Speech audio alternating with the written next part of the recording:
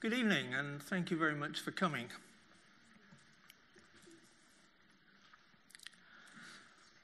I'm going to start off today with a, an illustrative story of the, the failure of the London ambulance system back in 1992, because there are some useful lessons to draw out from that. And I want to, to move on then into real world requirements, where, where they come from, uh, what goes wrong if, if you don't understand that most systems are socio-technical, that they've actually got people involved in the systems. And then to look at the relationship between computer systems and people's way of working and the way that that so often goes wrong as well. So, quickly tell the tale. Back in 1990, the London Ambulance Service was the largest ambulance service in the world. Uh, it, as you can see, transported a, a, lot of people. It covered 600 square miles, transported more than 5,000 patients every day, had 2,700 staff. It's actually got a lot more now. It's, it's up to nearly 5,000. Uh, and a lot of vehicles. And the job of the central controllers was straightforward. It, it was what you would imagine. In abstract terms, at the high level, it was straightforward. The detail of it was actually very complex, of course. You know, a call comes in, you need to find out where the emergency is. You need to eliminate duplicate calls because otherwise you end up sending too many ambulances to the same place. Uh, you need to find the best ambulance to send, usually the one that's nearest. And that means that you need to know where the ambulances are and what, what the status of them is, whether they are in fact free and able to move. And then you contact that ambulance and you send it. And this was done manually. And it was done using a lot of, of voice calls. And, and then uh, a computerized command and control system was put in uh, during the 1980s.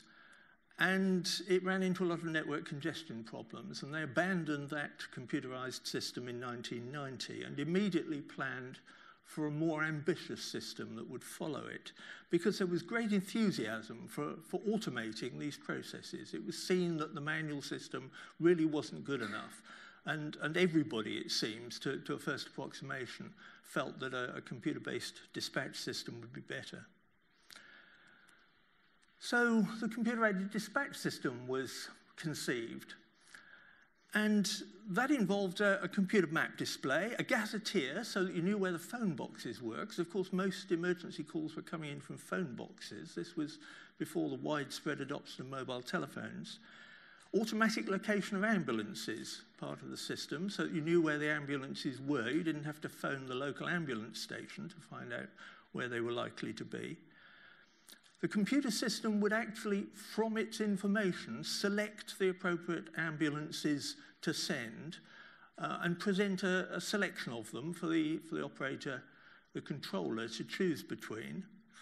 And the controller would select one, and then the details under this system would be sent by data link to the ambulance, which would go off to the call acknowledge what its status is, tell the system when it arrived, when it left for the hospital, when it got to the hospital, when the ambulance was free again. So a lot of status updates, again being done by data link in order to avoid the, the network congestion on the voice calls. This, this was very ambitious. They looked around at all the command and control systems that existed around the country and, and I think in some other countries and decided there was nothing available that would actually meet their requirements. So they decided that they had to have a bespoke system. But of course, the system has to be dependable. It, it must know where the vehicles are accurately and it must be trusted by the staff so that they're not trying to second guess the computer system because that could cause problems. So that's the setup. That's what they tried to do. They put out a call for expressions of interest. They got 35 companies responding. They demanded implementation by the 8th of January 1992. This is for a call for expressions of interest in 1991. That was an extraordinarily short time scale for what they were trying to do. They got full proposals from 17 suppliers. And the cheapest was, as you can see, from, from Apricot, Systems Options, and Datatrak with their various responsibilities. Apricot was a hardware reseller, a subsidiary of uh, um, uh, Mitsubishi. And the, the bid was for just under a million, and it was 700,000. The cheapest bid was 700,000 pounds cheaper than the next most expensive bid. Systems Options estimated the software uh, at 35,000 pounds. And, and in their bid, they said that they had experience of developing software for emergency services, which it's true they had, but they'd never done a command and control system. They'd only done administrative software. The uh, London Ambulance people evaluating the bids um, didn't investigate this discrepancy. So the contract was awarded. Systems Options, somewhat reluctantly, became the lead contractor. They, they hadn't expected to win this bid, which is why they didn't put as much work into it as, as they might have done. Um, but they, Apricot insisted that Systems Options were to be the lead contractor. And so they got on, they wrote the system design specification. Not surprisingly, the project slipped. Um, they had to interface with the existing communications hardware that, from the previous contract. The specifications were late being delivered. The software that Systems Options was writing turned out to take them longer than they'd forecast, of course, and so that caused things to slip. And they didn't get round to even trying to do any functional or load testing until January 1992, which was intended to be the, the full implementation date, of course. Uh, they ran into some problems, and in order to show that progress was being made, London Ambulance Service decided on a, a phased introduction of the new system. And for the rest of 1992, or at least up until the 26th of October, they, they used the system that they'd got in a semi-manual fashion whilst continuing to implement bits of it that weren't there to update things when, when there were problems. So they were taking calls on the computer-aided dispatch system. They were using the computer map and, and gazetteer, but they were printing out the incident details in the control room. And the best ambulance was being found then by the controller calling the appropriate ambulance station and handing over the details in that way. And then they went back to the computer-aided dispatch system for the mobilization, so the data links were used. And they ran into various problems during 1992 while, while they were doing it this way. Um, the, the system didn't always know where the ambulances were. They had network black spots the, the crews didn't necessarily notify their changes of status, either because they forgot or because they were in a communications black spot at the point where they needed to signal a change of status. Or it was even believed that perhaps they were deliberately misusing the system because they didn't trust it and didn't want it to be used. Uh, there were software errors. The, the 53rd vehicle, each, each 53rd vehicle wasn't, wasn't located. The, the software lost it. And the, the system couldn't cope with the way that the ambulance crews were used to working. They would they had preferred vehicles. They, they, they, you know, some of the vehicles were more comfortable to drive or performed better or, for various reasons, you know, maybe just because they, they had their sandwiches in that one, they decided that was the vehicle they wanted to take. And when it was a manual call and the decision as to which ambulance to use was left to the crews, that was fine. Once the system was saying which ambulance should be used, that created a problem because the system thought that something had gone wrong. So there were problems arising, and the problems continued. The communication system ran into overloads as the, as the workload got higher. Uh, there were continuing hardware and software errors, and so on. And what happened increasingly was that the system found itself losing knowledge of where the ambulances were. Despite that, the London Ambulance Service decided the thing to do was to put the system into service, into full service under the full automatic operation. Uh, probably because at the back of their minds they felt that a lot of the problems were simply that the staff weren't trying hard enough, that they weren't committed, that they were deliberately causing problems, that if it was the way it was going to work, then they'd be able to work their way through the issues and sort out the system. So they reconfigured the control room, um, took the printers out, took away the, the ability to run the system manually, put in more screens, uh, moved people around in the control room.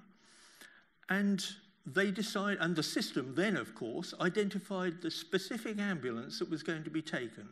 It found what the nearest ambulance, um, notified what route it should take, and that was transmitted to the ambulance. But of course, errors continued.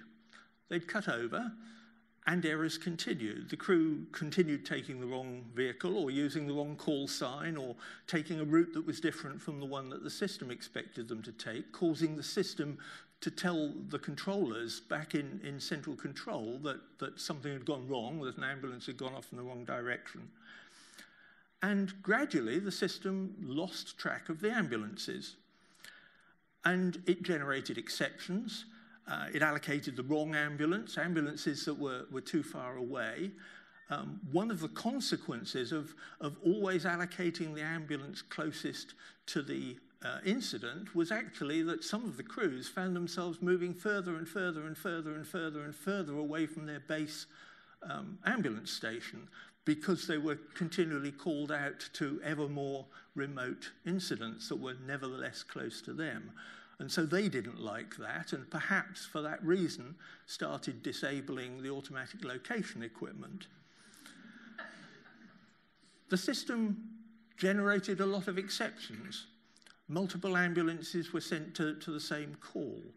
The exceptions scrolled up off the screens of the operators, and they lost the exception messages before they could actually intervene on the system and correct them. The delays built up. And as delays built up, uh, people who'd put in emergency calls when the ambulance didn't arrive phoned again. And so the call logs, the, the number of calls coming in built up as well. And the, the operators, the control staff, got completely overwhelmed.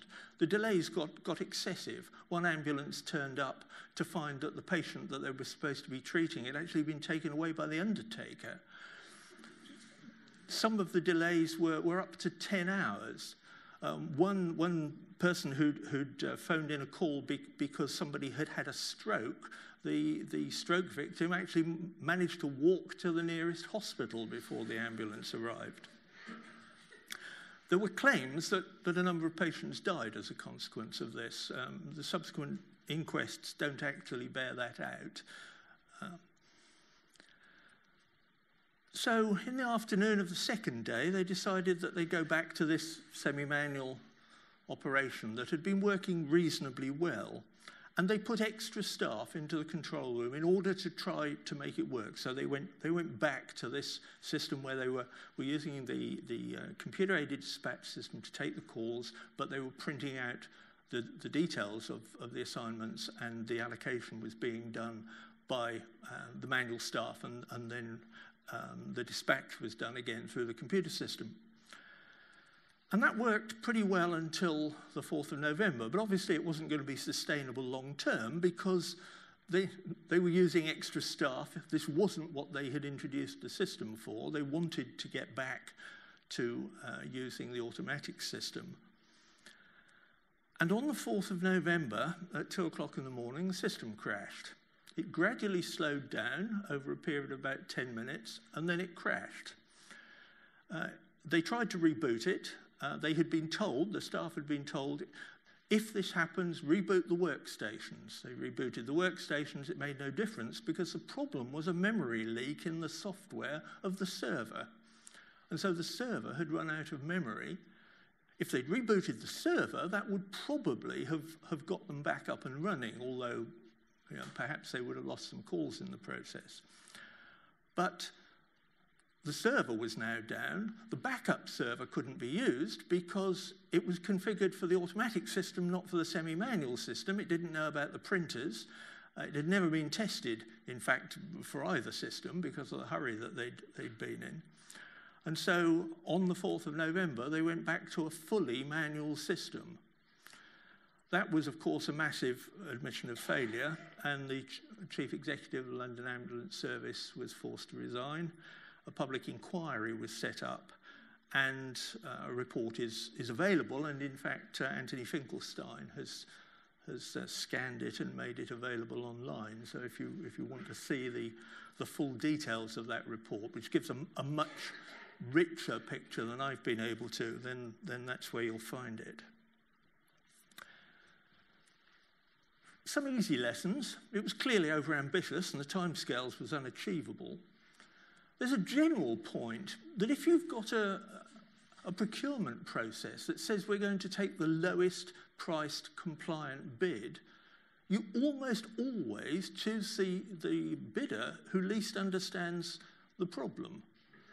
This is, this is not a good move because even if you, you write the contracts in a way that means that a lot of risk falls on the supplier, which is, is what the National Programme for IT and the Health Service set about doing uh, a decade after this fiasco.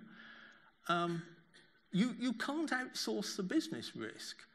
Nobody's going to, to be able to solve the business problem that you're left with when your computer system crashes. So it isn't a winning strategy to, to try to get a, a critical system built by somebody who doesn't understand what they're doing.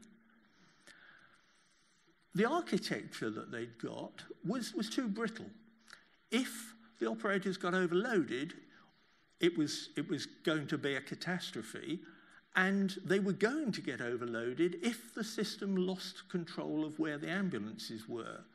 And there were lots of ways in which that could happen.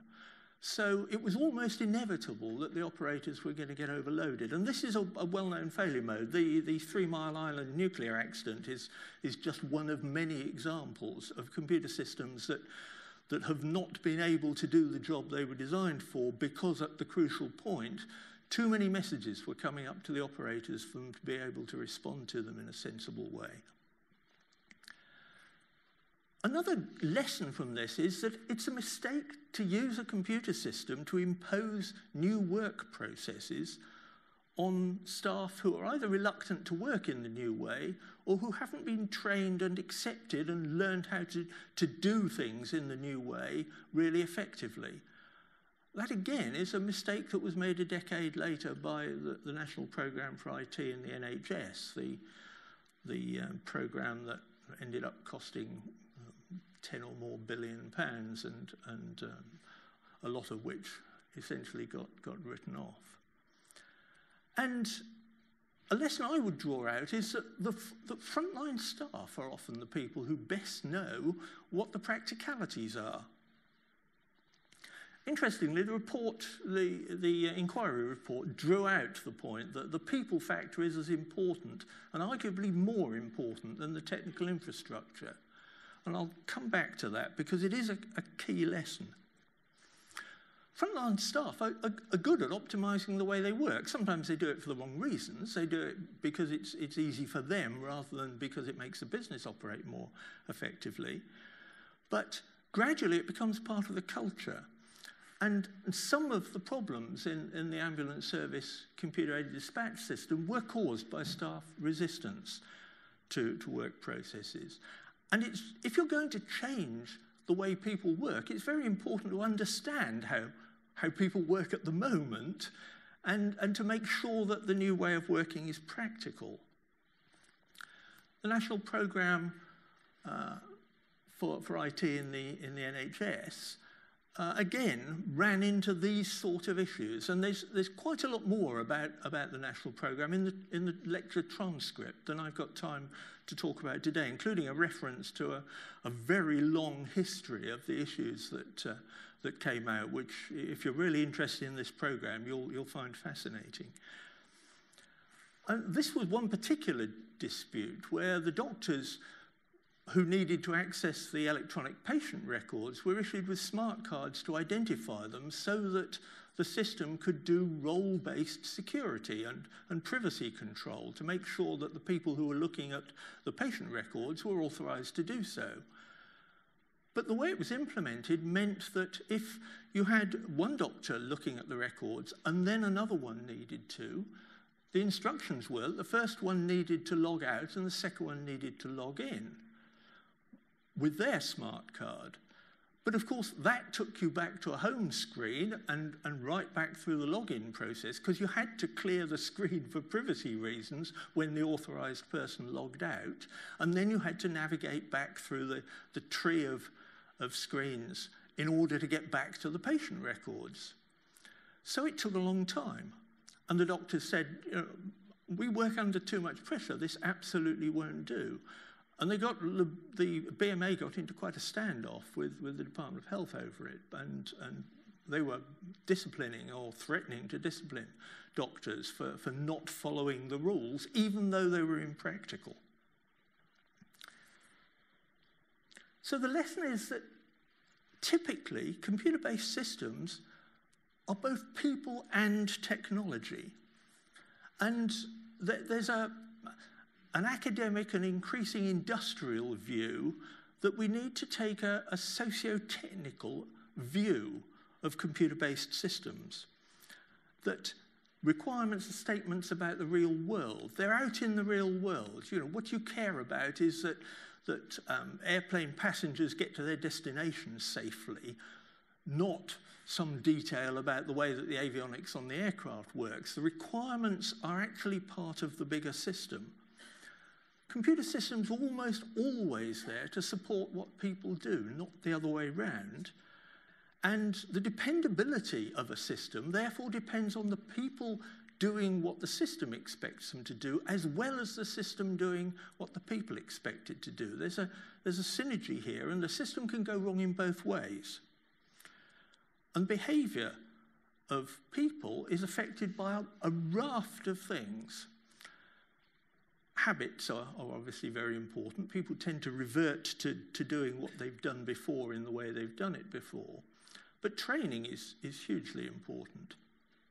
Um, I, I, recall a, an aircraft accident actually where the, one of the, the causes of the accident was that the pilot reacted in exactly the way they had been trained to react, but the simulator turned out to have a subtle fault. It was subtly different from the real aircraft, and it led to the pilots doing the wrong thing. So even a, a simulator for, for training pilots can actually be safety critical.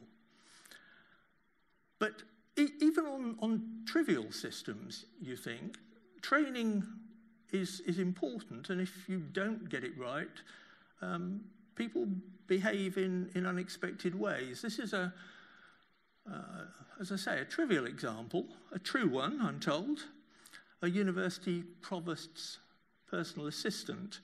The, the IT support in the university noticed that the provost's monthly newsletter was taking longer and longer to deliver. And, and then an email was sent round to all staff saying, please delete all emails from the provost. And it turned out that the PA, instead of um, starting typing in a clean template had been routinely uh, opening the last letter that had been typed, deleting the contents, and starting typing in what was left. But since tracked changes was left on, it meant that everybody who received anything from the provost got a complete audit trail of every letter that the provost had ever sent to anybody about, you know, staff matters, salaries, Um, it's not known whether all the staff did in fact delete all the, the messages from the provost. One, one suspects perhaps not. And it's important to check how, how people behave. This, this is a, a, an example from, from a research project that was, was carried out in the Dependability in, Interdisciplinary Research Collaboration. A few years back. It was a, a mammography system where the, the way that the, the mammograms were, were being read was that an expert reader, a, a, you know, a professional um, scanner of, of the, and diagnostician would look at the mammograms, and they would also have a computer assistant sitting next to them, a computer screen that was doing image analysis on the mammograms and prompting them to look at particular areas that the computer system felt might indicate uh, something that, that needed investigation. Because that computer system was merely advisory, it wasn't considered to be safety critical. And yet, when the research came in, when, when the ethnographic study was done, it turned out that the effect of that system was that it made the poorer readers, the poorer professionals, better at their job by pointing out to them things that they might have missed. But it actually made the experts, the very best people, worse. And the underlying reason for that was that if the experts working on their own were unsure, they would recall the patient in order to examine them further. If they were unsure and the system didn't prompt them, then quite often they would say, that, that's all right, and wouldn't recall the patient for that reason. And so it actually weakened the ultimate, you know, the overall system capability. It, it weakened the number of, of um, actual cancers that, that were found by the screening process. And again, there's, there's papers that, that write this up, and, and the references are in the transcript. Even experts get it wrong. Um, you've probably read about this in the, in the newspaper. This, this, this is a gem, I think. M Microsoft um, put a, a chat bot out. They, have been doing some artificial intelligence um, work and, and produced a, a, a, robot, a computer system that, that they had programmed to, to behave like a, uh, a young woman, a uh, 18 to 24 year old young woman, and to engage with people in, in um, discussions, in chats over Twitter and, and in various other ways. If you go to, uh, to tay.ai, you can actually uh, uh, see what the current situation is. It's, I, I, did this afternoon actually, it's currently offline. um, it, it, the the um, system, uh, it doesn't just interact, it, it has access to you know, a large set of, of um, tweets that have already been, been um, published out in, in the world. So it's got a, a, big database of publicly available discussions that it can draw. And in order to try to behave like the, the target 18 to 24 year old. Um, uh, this is the way that the, uh, the Independent wrote it up. Took on the identity of a foul mouthed genocidal Nazi. uh, within 24 hours of being introduced to the internet, it, it, it started off tweeting hello world and, uh, and got through to busted 9-11, Hitler would have done a better job than the monkey we've now, and Donald Trump's the only hope we've got. Microsoft said, as it learns, some of its responses are inappropriate. but it, it's a, a, a good example of not really understanding how the humans that are going to be part of this complex system are going to behave. Because, of course, the humans started playing it up. You know, they, they were trying to push it to see just how inappropriate they could, could get it to, to behave. And, and too often, in developing computer systems, the focus is on the technology, not on the real requirement. Um, one, one of the mantras that we've been trying to put out around government is that there's no such thing as an IT project. Every significant thing that you think of as an IT project is really a business change project enabled by an IT system to support the new business processes. But you've got to focus attention on the business processes, on the business change. And business processes cost a lot to change. Uh, from, from my experience, the, the business changes will take at least as long and cost at least as much as the new IT system.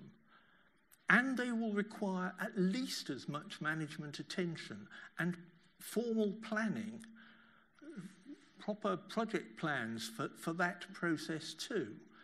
And the reason it takes so long is because you've got to trial the processes with enough people. You've got to go through a lot of iterations in order to make sure that the processes work.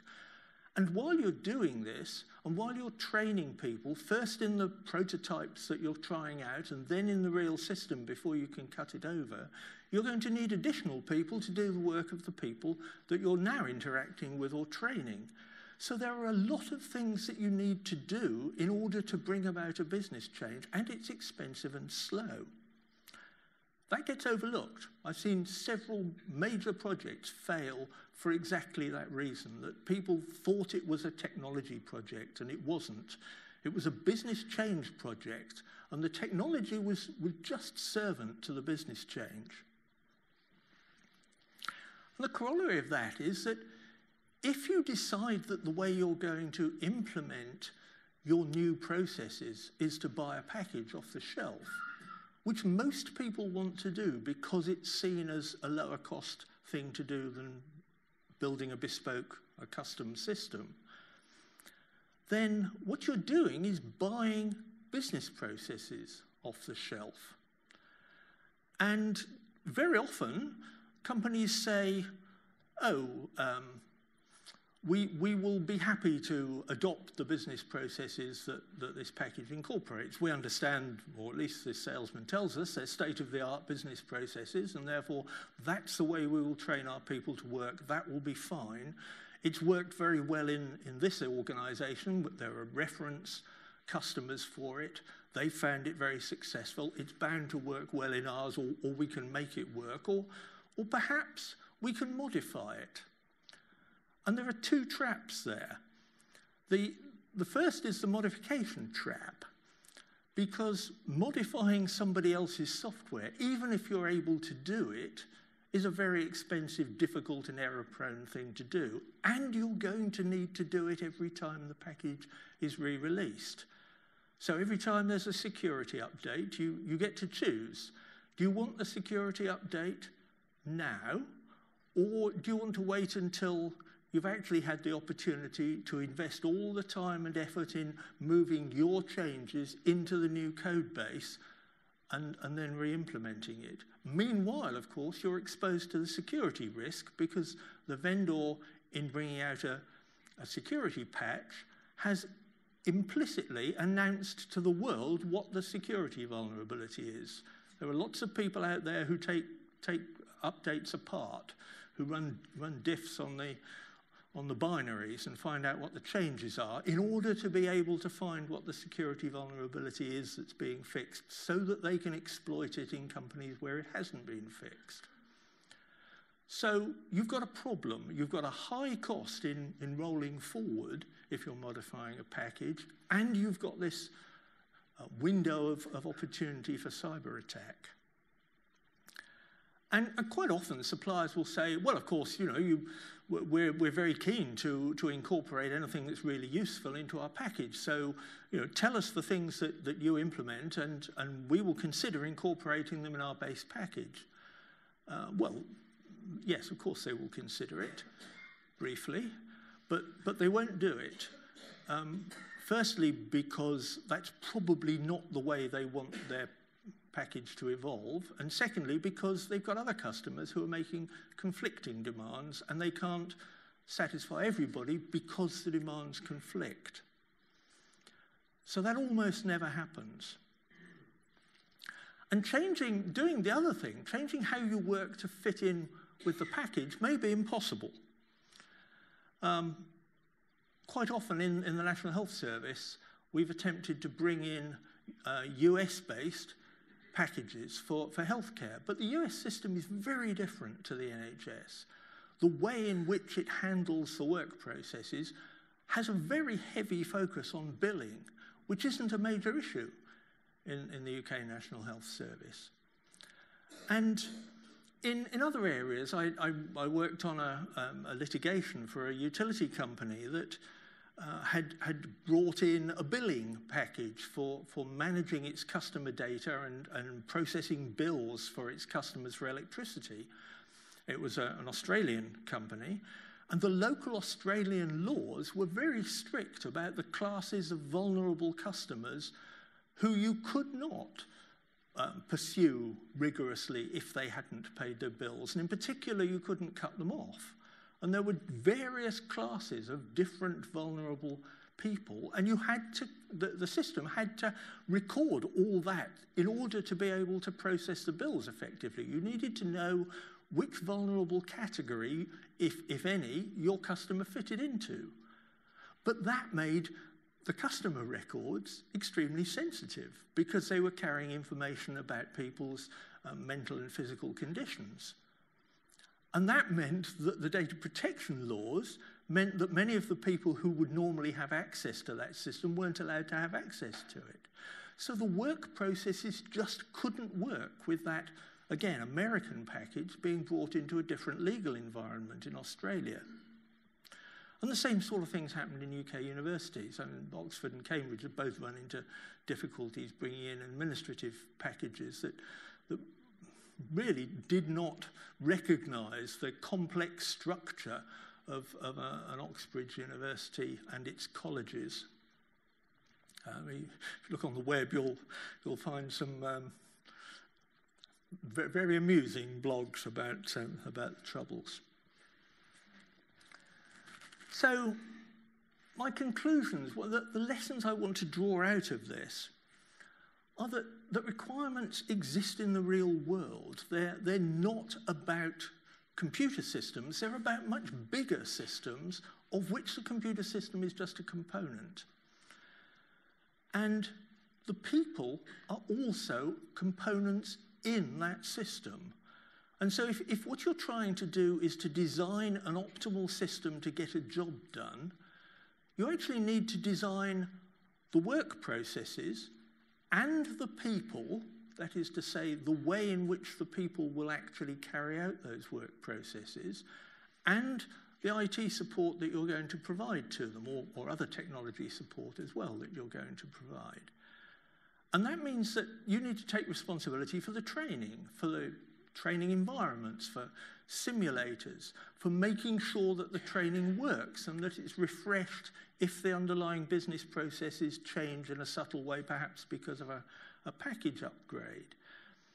So you have to take planning responsibility and management responsibility for the much larger system. It's not just about building an IT system. And when people try to do that, it almost always goes wrong.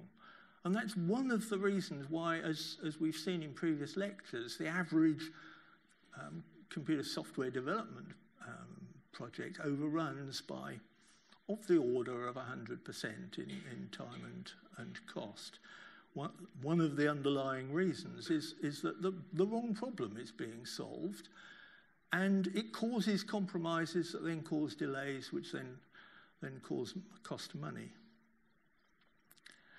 You can design business processes rigorously the, the management consultants talk about business process re-engineering, um, but that was just a Harvard Business School phrase by somebody who, who was a Harvard uh, professor but wasn't an engineer. And you can do engineering on business processes. Uh, if, you, if you look in the transcript, you'll find, find a reference to, to uh, a book on, on um, business processes, which um, shows a, um, a method that enables you to, to model the way that people work and the way that they interact and where the key interactions are, and to see the effect of making changes to that. And it's a, it's a very powerful process. In fact, we, we've, in, in my previous um, company, we, we used it for, for modeling one complex system for somebody who, uh, who believed that they wanted an IT system. Uh, they, they were having real difficulty in, in um, scheduling the uh, audiovisual material that they had bought for a, a video channel. They, this was a cable television channel.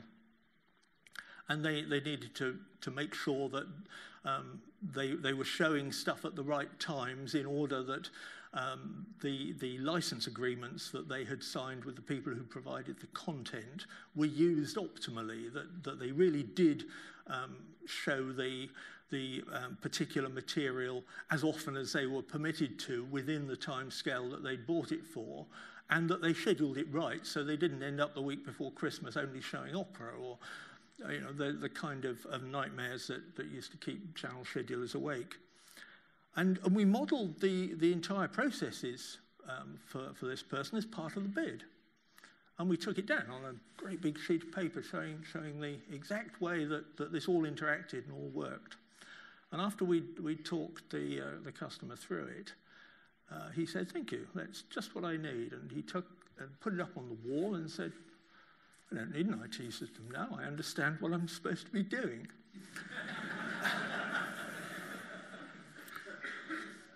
we, we managed to get him to pay for the bid, but um, it, it, wasn't the outcome we, we had been hoping for. and, and finally, the, the point that the people who are carrying out processes do need to be involved in designing the new ones. And if you don't do that, it, it creates a feeling of distrust and disrespect, as well as losing access to the real expertise in the practicalities of the job being done. Uh, so the notion that you can impose business change on people by giving them a, an IT system that, that sort of rolls out idealized um, processes is, is really dangerous. It's another mistake that the National Programme for IT and the Health Service tried, um, made, made when, when they, were, they were trying to um, to get all the hospitals in the UK to follow what was considered to be best practice. But it didn't take account of local variations. So, for example, one example that, that I was told about was the, the process that was uh, incorporated in the software for discharging a patient and which had to be followed step by step had as its penultimate step get the medication that you're going to send home with the patient from the pharmacy. And the, the IT system wouldn't give you the capability of doing that earlier. That was the point at which you had to do it. But in quite a lot of hospitals, the rural hospitals in, in the UK, the pharmacy's not open at the weekends. And that meant that they were in a position where if they followed the process and didn't try to subvert and circumvent the system, they couldn't discharge patients at the weekends. You know, this is just taking too idealized a view of a process and not recognizing the, the local impacts. And in fact, the, uh, the Connecting for Health team finally woke up to the fact that the, the national scheme was really not the ideal way to do it. And, and they introduced the uh, national, the, the, the NHS local ownership program, it was called, the N- NLOP, uh, which devolved responsibility for what systems were being introduced to the, the local acute trusts. Um, the cynics said that NLOP stood for no longer our problem. so thank you very much.